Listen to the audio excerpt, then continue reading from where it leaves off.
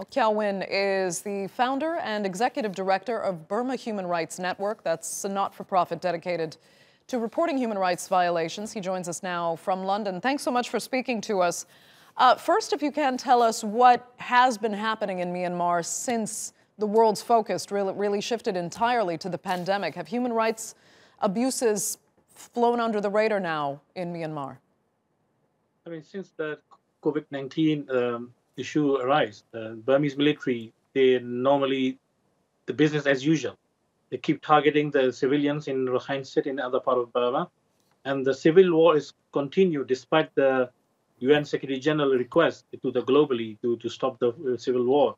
But and, and also this is a hugely impact on COVID-19 control in, in across Burma because civilian civil war is continuing and they're targeting the civilians and using air power and and artillery and shelling those uh, resident residential areas.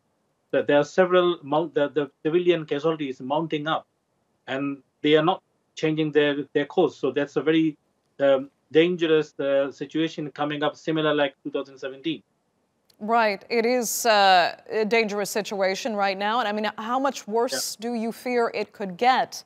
You know, if fellow countries that would usually be leaders in tracking these kinds of abuses and organizations uh, won't be able to divert their resources and their attention to Myanmar?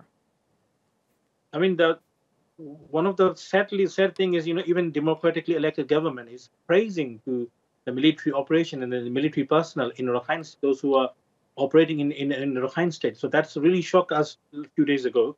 And there is a, there is a couple of uh, uh, incidents happening in, in that area that uh, we, which draw our attention as well that one of the WHO driver has been hit and both sides denied the responsibilities.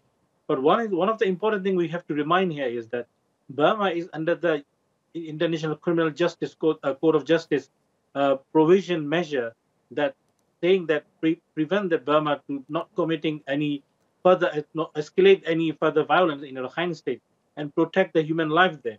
And they are clearly breaching this, this rule. Okay, Win, we're going to have to leave it there. Thank you so much, though, for joining us from London. We appreciate it.